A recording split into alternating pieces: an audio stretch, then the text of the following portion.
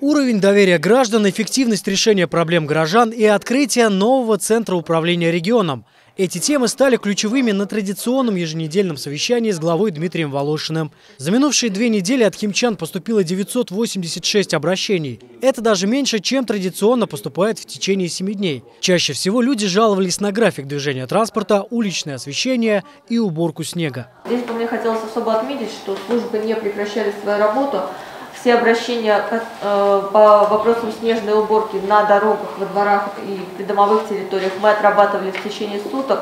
Специалисты выходили на место, проводили уборку. Особое внимание уделили повторным обращениям. За две недели их было всего 123, что значительно ниже аналогичных показателей в декабре. Глава поручил чиновникам держать на особом контроле повторные жалобы.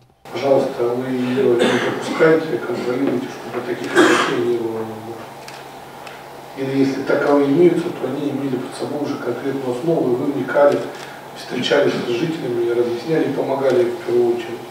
Полным ходом и в срок реализуются проекты по строительству социальных учреждений. В 2020 году на территории Химок появятся 15 новых объектов. Среди крупнейших – детский сад на улице Парковая на 250 мест и на Лесной улице в Подрезково. Там смогут принять 125 ребят. Также строится многофункциональный комплекс с бассейном, катком и спортивными залами. Этот темп очень важно не снижать.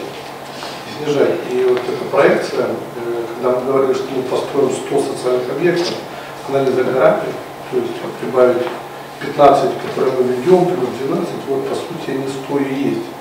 То есть даже, возможно, до 23 года мы уже пройдем рубеж. Глава напомнил о важности ввода в эксплуатацию Центра управления регионом, который заработал в тестовом режиме в августе 2019 года. Сегодня в нем активно принимают заявки от горожан по вопросам жилищно-коммунального хозяйства, дорог, транспорта, образования и здравоохранения.